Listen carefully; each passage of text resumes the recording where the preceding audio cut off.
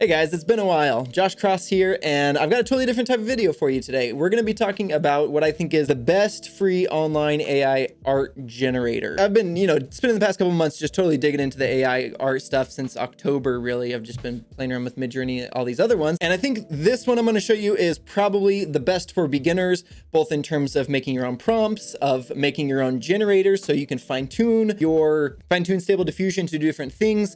There's just a lot that you can do with it. And I want to, I'm excited to show you to. So let's check it out. So it's called Scenario. It used to be scenario.gg, so they recently got the .com domain. So good job, team. That's a really good domain name. That's awesome. Uh, you're going to need to make an account, and you'll be able to use it either in the web app or they have an iOS app. And I know they have an Android app under development. I don't know when that one will be ready. So once you make an account, which is free, you'll go into your home and it's going to take you, we've got a couple things here. We've got our home, which shows our generators that we've made, as well as the images that we've generated. Then looking at the different generators, we, again, we have our generators and then the public generators. So these are specifically fine-tuned versions of Stable Diffusion. Then there's also Stable Diffusion 1.5 as well at the bottom. So if you want to do general images, Stable Diffusion 1.5 or Open Journey by Prompt Hero are the two to do. You know, Open Journey is a version of Stable Diffusion that's been fine-tuned to get those kind of artistic, mystical uh, images you get from Midjourney. And then we have all these different generators here that we can use. And there's not that many right now but they they keep adding more so it will get you know better over time. Then going back over here we have our images. This is where you can see the images that you've generated over time. So you can see some of these ones i've made from custom generators uh, some images that i did from image to image from my dog steve irwin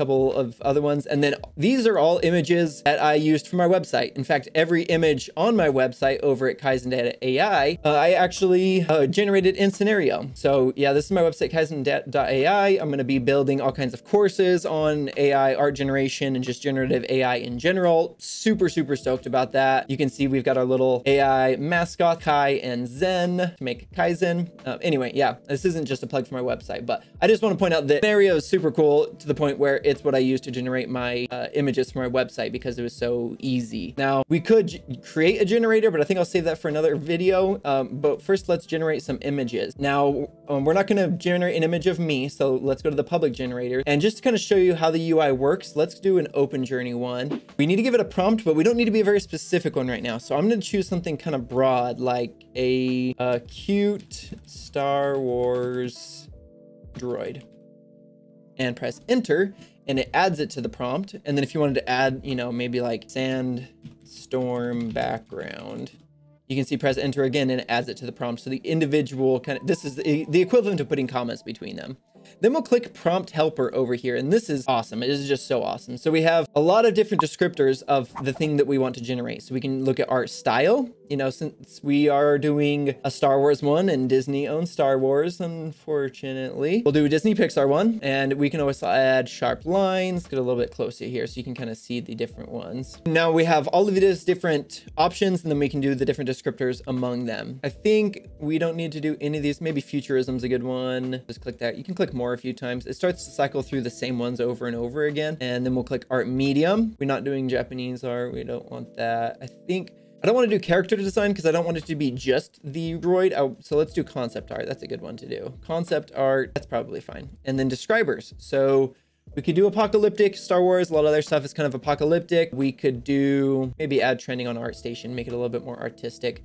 Go to our colors. I already said sandstorm in the background and droid. I don't think I need to specify specific colors, but if we wanted to, we could add any colors that you want here. Materials, aluminum, bronze, clay, concrete. Well, let's do metal. Metal's a good one. Maybe titanium. That could be cool. Um, yeah, that's good. Let's go to lighting. Because we're going to be doing it outside, you can do sunlight or, you know, whatever you want. I'm going to do, I'm going to do global illumination. Then let's see, let's scroll down. So we have different types of lighting. Go to framing and think let's do let's do a full body shot. Maybe that's a good idea. Full body shot sounds good. And render, we can do the usual Octane rendering, maybe Unreal Engine rendering, and then some details. So you got a couple of photography terms. So if we want to choose our focal length, I think if, if anything, I would do, you know, something like 35 millimeter. So we get like a, a standard focal length for that. And let's also add depth of field so that we can get uh, a nice crisp foreground image with a blurry background. Our epic, we don't really need to choose which epic we want because I already chose futurism up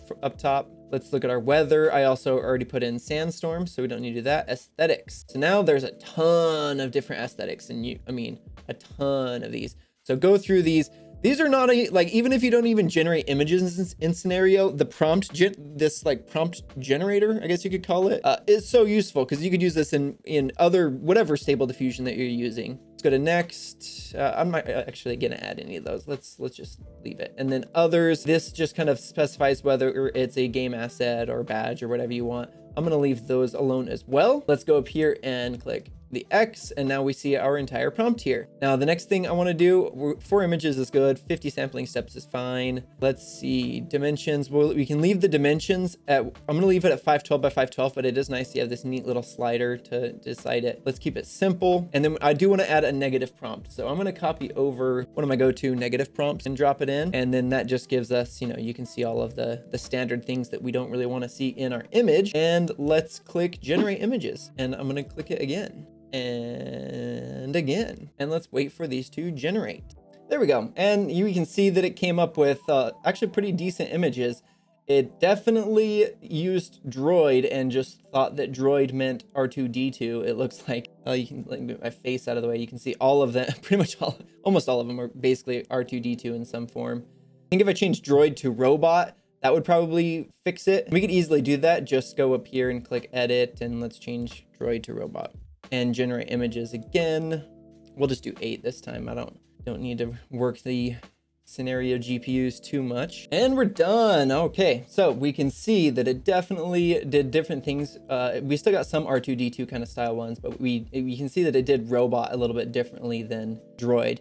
So yeah, small changes can make a big difference there. I just, I just love the way that they do the prompts here. I haven't seen any other apps. If you guys don't of any apps that does it like this, I think this is the best way of being able to like bridge how difficult prompt engineering can be to get what you want. And also, you know, have, you still have some say in what actually gets made. Now they also have a canvas mode. The canvas mode is in beta. So I don't want to show, it's been a little bit buggy as I've used it. So I kind of want to wait. And I also know of another tool that uh, I've been using a lot more actually lately lately that uh, has a, a much better canvas mode just because they've been doing it longer, I guess. So yeah, I can show you that one. Oh, nice. This actually finished while I was recording. So I was making a generator for cute Pixar animals. See all my different Pixar animals here. In fact, let's actually, let's see what we can come up with with that. Let's go to home, or, or let's go to generate images, private generator, so cute Pixar animals, make a cute robot from Star Wars. I have no idea if this is going to turn out because it's not at all like the training data that I put in. Let's go ahead and grab my, my negative prompt that I like to use and generate. You guys are literally seeing the first time I've used this this generator. So be interesting to see how it turns out. It might be hugely disappointing.